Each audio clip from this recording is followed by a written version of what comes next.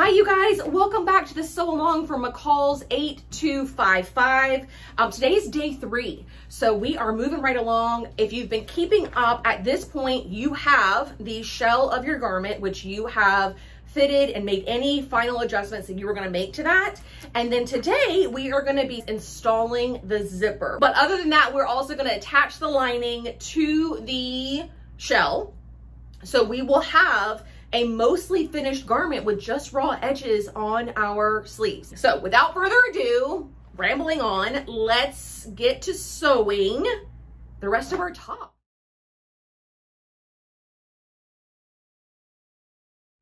All right, so with the zipper basted to the seam allowance, we can come in and essentially baste this down through all the layers. You just want, when you first baste it into the seam allowances, just feel with your fingers and make sure the zipper teeth are centered on the seam line. That's what really you're making making sure of. That way, whenever you seam rip this seam open and expose the zipper teeth, they're as close to the center of that, those two folds as possible.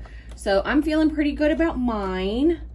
I'm gonna put this, uh, the zipper foot, the, the over the zipper teeth at this point, and then I'm gonna move the needle over so that it's about a quarter of an inch away from this seam line. And again, I'm still basting,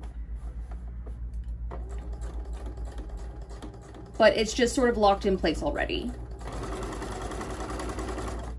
And obviously you're keeping the front of the garment out up out from underneath the presser foot. All right, and I'm just uh, going as far as I can between the zipper pull and the stop. You can see I'm still about, I don't know, 3 eighths inch shy, but that's gonna be okay. We're gonna be able to get it stitched down all the way top to bottom after we get the lining in. So same thing from the other side. Okay, and at this point, you can take your seam ripper and cut open that seam line.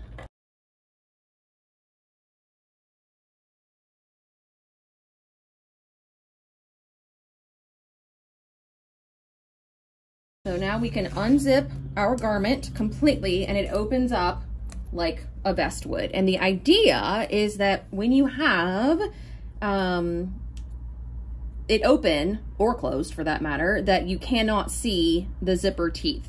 That's how you know you've centered everything perfectly.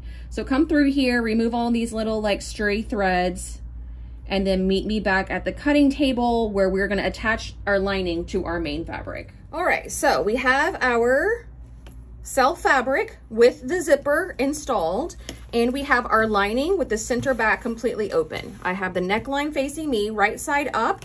So the right side of our self fabric goes face down, right?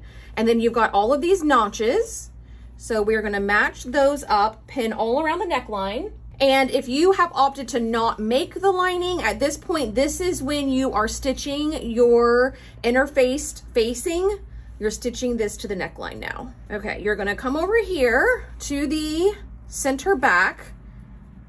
And this is, I'm going a little bit rogue, right? I'm not completely following the instructions. Um, because I don't want to do any hand sewing. um, so I think this is going to work. But the idea is you come down here to where the zipper stop is on the top. You fold that toward the raw edges. Then lay, line everything up. This is facing out. We are going to pin this into place. And we are going to stitch from the hem up through here, all around our neckline and back down the other side. And then we should be able to turn the garment right side out through our armscye. All right, and because I already have my zipper foot on, I'm gonna start with the zipper and on the wrong side or on the main fabric side, you can see it's folded over ever so slightly. That is what is creating that little flap to cover our zipper teeth. So when we go to stitch the lining to it, we want to stitch even a little bit further from that than we normally would. So we can put this in. And instead of your zipper foot going over the zipper teeth, just place the edge of your foot along the edge of the teeth and that should secure it without compromising the uh, the work on the on the other side of the zipper.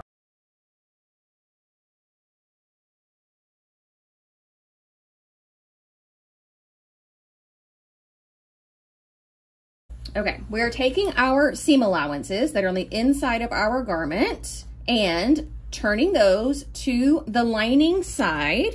Seam allowances turned toward the lining.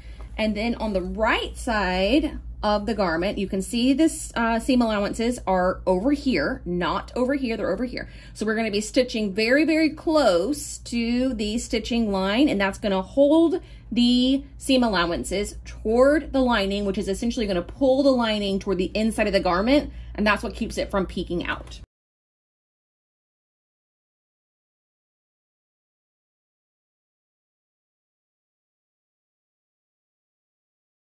All right, let me show you what this looks like once we're done.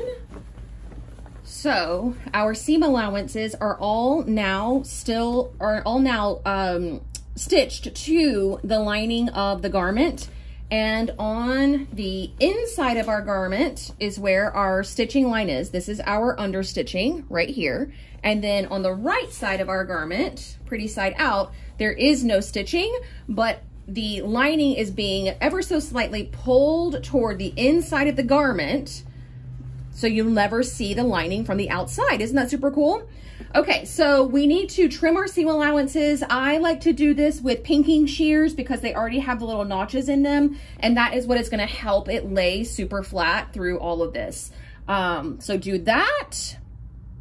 And then turn the garment right sides together again, and then we'll start on our hem. Okay, just real quick, I went ahead and pressed my neckline. You can see how crisp and beautiful all of that looks. So happy. And then here is my zipper from the right side and from the wrong side without a single hand stitch in sight. this is what that looks like. So also really nice and pretty. Then turn the um, facing to the inside and match up your raw edges of your hem and then pin at all of the seam all of the vertical seams. Just pin those down and then stitch at your 5 8 inch seam allowance all the way around the hem, stopping and starting at each little junction here. And then also you can move your zipper pull like halfway up.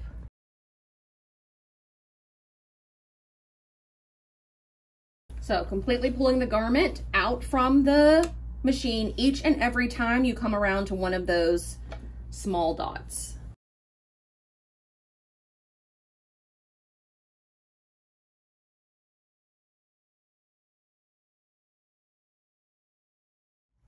Okay, so here is our hem after we have sewn all of the scallops.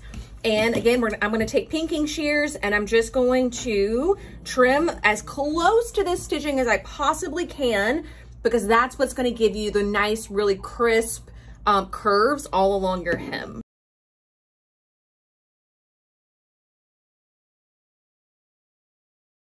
All right, so we've got all of that trimmed.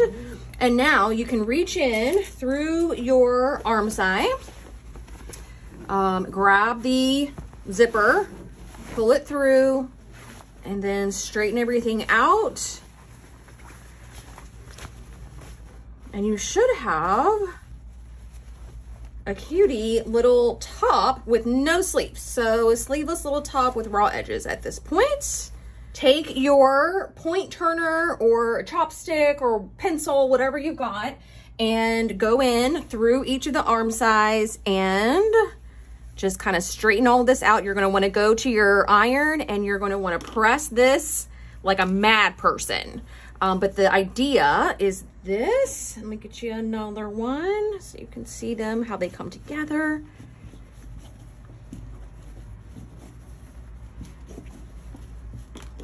She's cute. She is stinking cute. So go press this, like I said, like crazy, um, all the way around the hem and we are done for today. Like I said before, if you have any questions at all, you want my advice on something, you got stuck somewhere, you need to show me something, become a Hemsider. The link is in the description box. Become a Hemsider and then you can join me tonight, 5.30 p.m. Eastern on Facebook. Um, I have a room set aside for the Hemsiders um, and for uh, in my exclusive Facebook group um, so that we can video chat and I can help you as you need. Okay. We're feeling pretty good, right? About now, you're like, wow, this is pretty much done. And you're right, it is. All we have left to do is the sleeve. We'll be tackling that tomorrow. Um, and I can't wait to finish up these tops with you. So, see you tomorrow, guys.